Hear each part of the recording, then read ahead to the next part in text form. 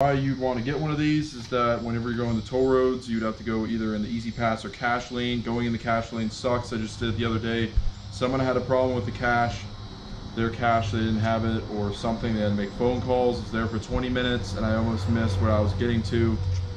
I had to, I had a limited amount of time and it closed. And I was there a few minutes before it, it was terrible.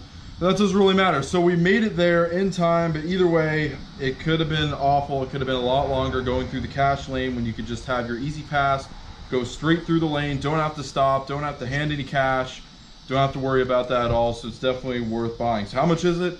Paid about $42 for it at the giant food stores. I think you could buy it online for cheaper. Either way, $30, $35 of what you pay for goes into your balance of the E-ZPass.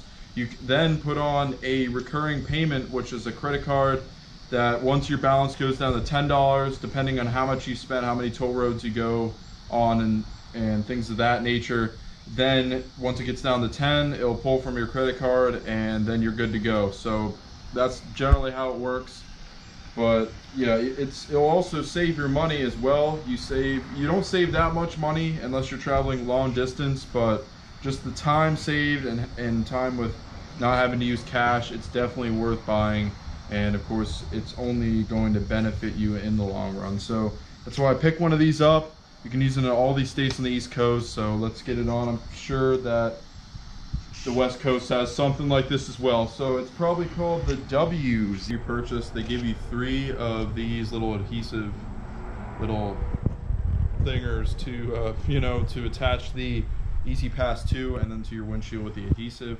But the thing is though is that the pass actually does come with two of them already, so you will actually not need these, but you do have extras if you want to you mess it up somehow or you want to put it on a different vehicle. But yeah, they, they give you a lot of information and you can look up stuff online, but of course when you buy it, you want to register within 24 hours to your vehicle. You need your driver's license and all your information and everything. Within, actually no, not 24, but within 72 hours, you want to make sure you register it to your account and driver's license and license plate number. Because I guess otherwise then it becomes useless or something. Uh, if you look at the website, it looks like it's something out of the late, the early 2000s. The the site looks very outdated, but it's very easy to use, and the information will be on the box of which you buy it. So I got the transponder right here. It's just this little white device, and it reads the antenna or whatever signal they send out at every time you pass through.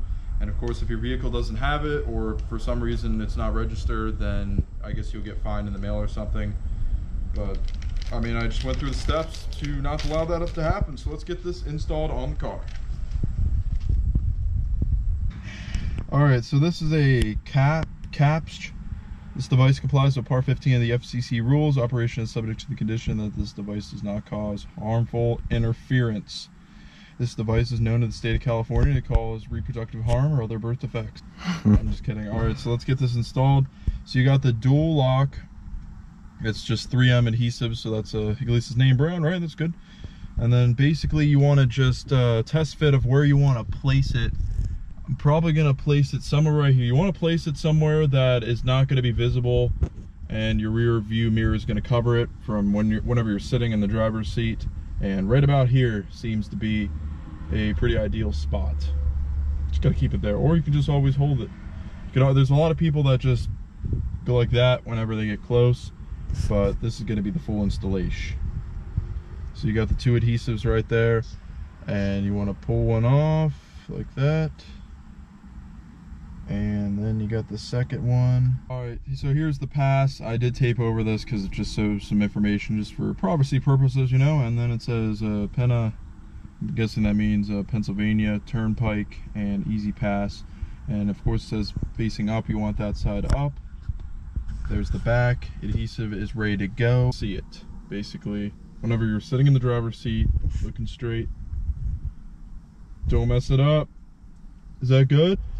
Now you just want to firmly grasp it. Sit there for a little bit. It's a very hot summer day. It's sun's out and all, so it's it's definitely gonna seal up there pretty good. I'd, I wouldn't want to do this in the winter time, but it'd probably work just as well.